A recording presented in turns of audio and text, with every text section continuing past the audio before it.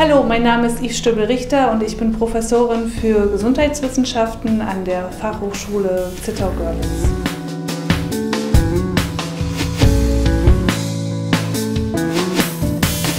Ich möchte mich mit Ihnen in diesem Modul mit der Frage auseinandersetzen, sind wir glücklich?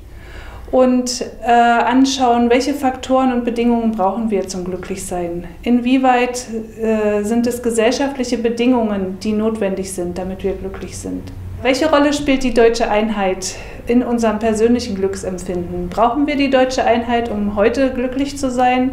Oder ist das, was vor 25 Jahren passiert ist, eigentlich inzwischen kalter Kaffee?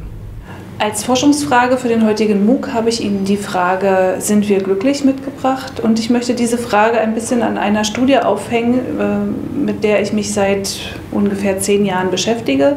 Das ist die sächsische Längsschnittstudie und diese Studie begleitet Personen, die inzwischen um die 40 sind, auf ihrem Lebensweg. Wir haben also die Person jedes Jahr befragt oder befragen die jedes Jahr und stellen fest, dass also diese Personen auch äh, sehr stark natürlich ihr Lebensglück von den Umständen, unter denen sie leben, von den Gegebenheiten, die sie nach der Wende bewältigen mussten, abhängig machen.